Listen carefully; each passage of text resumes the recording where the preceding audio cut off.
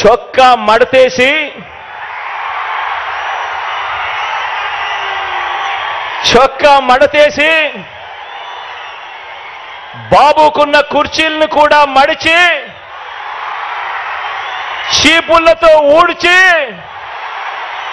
వారి పార్టీని శాసనసభలో నూట రెండు నుంచి ఇరవై మూడుకు తగ్గించారు కదా అని అడుగుతా ఉన్నాను.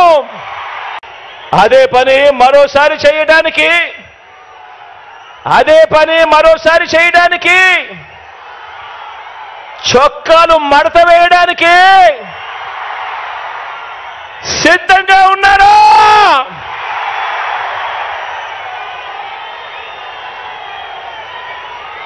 ఈ చంద్రబాబును సవాల్ చేస్తా ఉన్నాను.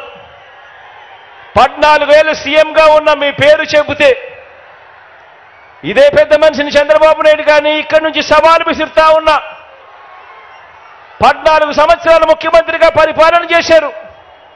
పద్నాలుగేళ్ళు సీఎంగా ఉన్న మీ పేరు చెబితే గుర్తుకొచ్చేది వెన్నుపోట్లు మోసాలు తప్ప మీ పేరు చెబితే కనీసం ఒక్కటంటే ఒక్క మంచి స్కీమ్ అయినా గుర్తుకొస్తుందా అని అడుగుతా ఉన్నాను. కనీసం మీరు చేసిన ఒక్కటంటే ఒక్క మంచి అయినా గుర్తుకొస్తుందా అని అడుగుతా ఉన్నాను. రెండు చేతులు పైకెత్తి ఇలా ఇలా ఇలా ఇలా ఇలా ఇలా ఇలా ఇలా ఇలా ఇలా ఇలా ఇలా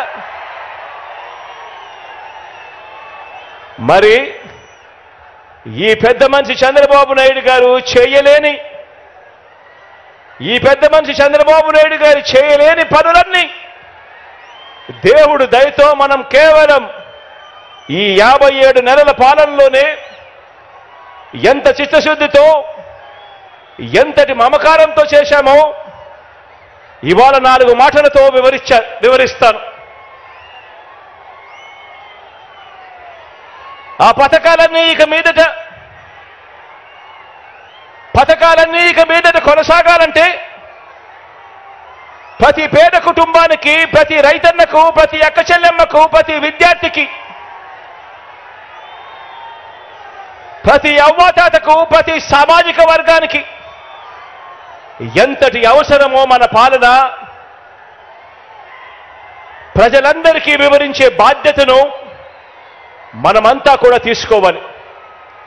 ఇంతకు ముందే నేను చెప్పాను ఈ యాభై ఏడు నెలల్లో కని విని ఎరగని విధంగా విప్లవాత్మిక మార్పులు తీసుకొచ్చాం. ప్రతి అక్క చెల్లెం మా హృదయాన్ని తట్టాం. ప్రతి రైతన్న మనసులో నిలిచాం. ప్రతి అవ్వ తాత చిక్కటి చిరునవ్వుల్లో నిలిచాం. చదువుకుంటున్న ప్రతి పిల్లాడి మనసులో గుండెలో కూడా నిలిచాం. విప్లవాత్మిక మార్పులు తీసుకొచ్చి అడుగులు వేశాం. ఈ విప్లవాత్మిక అడుగులు ఇంకా కొనసాగాల్సిన అవసరం ఎంత ముఖ్యమో ఎంత అవసరమో ప్రతి ఇంట్లో ఉన్న ప్రతి అక్కకు చెప్పాలి ప్రతి చెల్లెమ్మకు చెప్పాలి. ప్రతి ఇంట్లో ఉన్న ప్రతి అన్నకు తమ్ముడికి చెప్పాలి. ప్రతి రైతన్నకు చెప్పాలి ప్రతి అవ్వ ప్రతి తాతకు కూడా మనమంతా కూడా తీసుకొని పోయి చెప్పాలి. ఈ పథకాలను అందుకున్న ప్రతి ఒక్క కుటుంబం మనకొక స్టార్ క్యాంపెయినర్గా వారందరూ కూడా ఇంట్లో నుంచి బయటికి రావాల్సిన అవసరం ఉంది అని చెప్పి ఆ అవసరాన్ని వైఎస్ఆర్సీపీలో ఉన్న ప్రతి కార్యకర్త ప్రతి నాయకుడు ప్రతి వాలంటీర్ ఇంటింటికి వెళ్ళి ప్రతి ఒక్కరికి కూడా వివరించాలి. వారిని పోలింగ్ కేంద్రానికి తీసుకొచ్చి ఫ్యాన్ గుర్తు మీద ఓటు వేయించాల్సిన అవసరం గురించి ఆ ప్రతి ఇంట్లో కూడా చెప్పాల్సిన అవసరం ఉంది.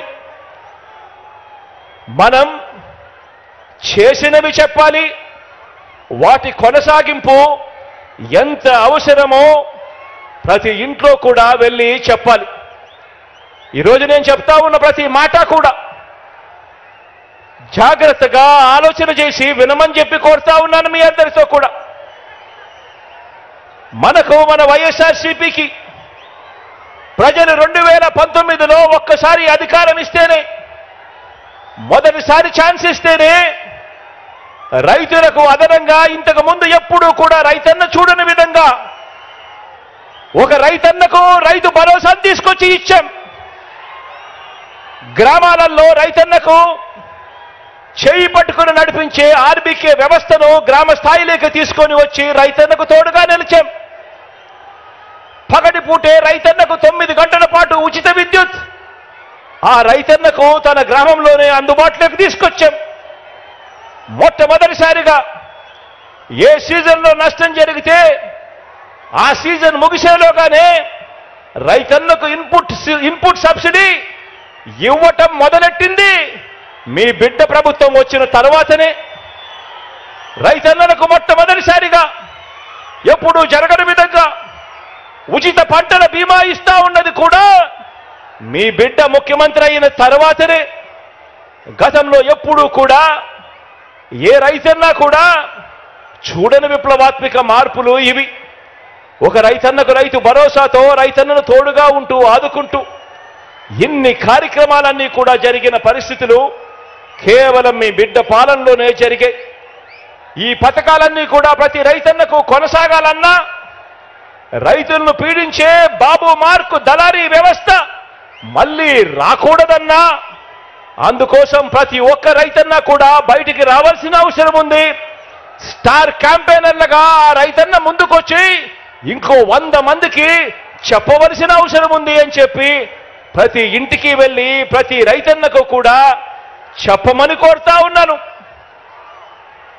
ఈరోజు విందు భోజనం పెడతా అని బిర్యానీ పెడతా అని మోసపూరిత ఆశ చూపించి చంద్రబాబు ఇప్పుడు మనం పెడతా ఉన్న అన్నాన్ని గిన్నెని రెండింటినీ కూడా రైతన్న దగ్గర నుంచి లాక్కోవటానికి అడుగులు వేస్తా ఉన్నాడు. గతంలో ఇదే పెద్ద మనిషి చంద్రబాబు నాయుడు గారు తాను బేషరతుగా చేస్తానన్న ఎనభై ఏడు వేల ఆరు వందల పన్నెండు కోట్ల రూపాయల రుణమాఫీని ఓ మోసంలా ఎలా మార్చాడో ప్రతి రైతన్నకు కూడా గుర్తు చేయాల్సిన అవసరం మనలో ఉన్న ప్రతి కార్యకర్తకు ఉంది. రెండు వేల పంతొమ్మిదిలో సీఎం అయిన జగన్ పేరు చెబితే మన వైఎస్ఆర్సీపీ పేరు చెబితే అక్క చెల్లెమ్మలకు గతంలో ఎప్పుడూ కూడా జరగని విధంగా ఈరోజు అక్క చెల్లెమ్మలకు ఓ అమ్మఒడి అక్క చెల్లెమ్మలకు ఓ ఆసరా అక్క చెల్లెమ్మలకు ఓ సున్నా వడ్డీ అక్క చెల్లెమ్మలకు ఒక చేయూత అక్క చెల్లెమ్మలకు ఒక కాపు నేస్తాం ఒక ఈబీసీ నేస్తాం ఒక ముప్పై ఒక్క లక్షల ఇళ్ళ పట్టాల పంపిణీ ఇరవై రెండు లక్షల ఇళ్ళ నిర్మాణం వేగంగా జరుగుతా ఉన్న పరిస్థితులు. ప్రతి ఎక్క చెల్లెమ్మ ఫోన్లోనూ ఒక దిశ యాప్. ఆ ప్రతి ఎక్క చెల్లెమ్మకు తోడుగా ఉండేందుకు అదే గ్రామంలోనే ఓ మహిళా పోలీస్. ఇవన్నీ కూడా గతంలో ఎప్పుడూ జరగని విధంగా.